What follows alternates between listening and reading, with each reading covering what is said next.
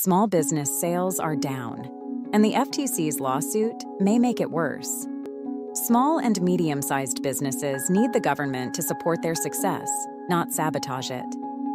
But the FTC's efforts to target Amazon put smaller businesses at serious risk.